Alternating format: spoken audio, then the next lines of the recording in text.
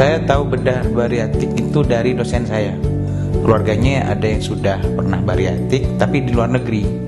Kemudian saya cari yang di Indonesia ini ketemunya dengan websitenya Dokter Peter. Kemudian setelah menghubungi melalui nomor yang di website itu, barulah ketemu Dokter Peter dan bisa sekarang ini. E, kalau saya besar itu gemuk itu dari kecil. Jadi setiap dari setiap bulannya dari kecil itu nambah satu kilo. Kemudian ketika ini agak besar ini ketemu lingkungan yang memang suka makan. Jadi bisa sampai besar itu ya karena juga teman-temannya juga teman-teman suka makan. Ya akhirnya sampai berat saya 240 itu sudah jalan sulit nafas sudah sesak terus ibadah juga uh, cepet capek sulit pokoknya. Nah, itu.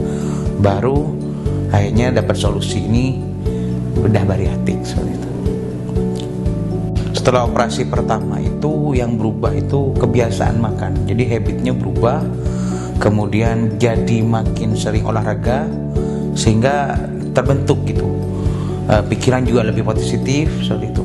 Nah cuman untuk e, dapat e, berat tubuh yang ideal memang masih perlu operasi yang kedua ini. Makanya saya melakukan yang kedua ini. Jadi kalau masih di atas 100 itu masih belum ideal masih capek badannya gitu. Nah, walaupun sudah rutin olahraga terus kebiasaan makan sudah berubah seperti itu. Jadi harapannya nanti setelah uh, operasi yang kedua ini bisa lebih uh, kecil lagi badannya dan lebih aktivitas seperti biasa seperti itu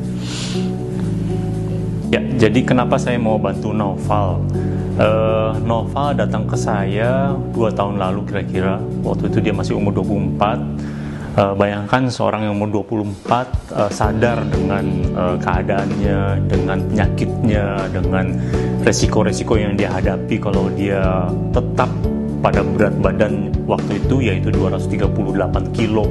Uh, bagi saya, uh, saya hanya menyediakan alat. Jadi ke kemauan atau niat dari pasien itu sangat besar uh, peranannya. Dalam hal ini Novel sudah memiliki modal yang luar biasa jadi saya sangat yakin bahwa dia akan berhasil.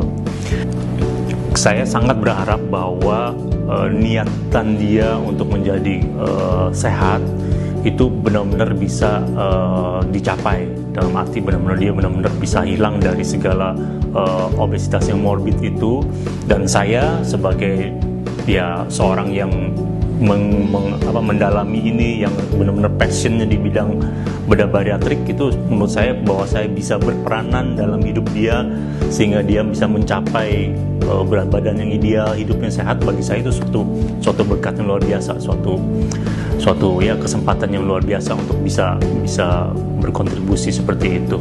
Saya sudah melakukan operasi bariatrik dan ternyata semudah itu.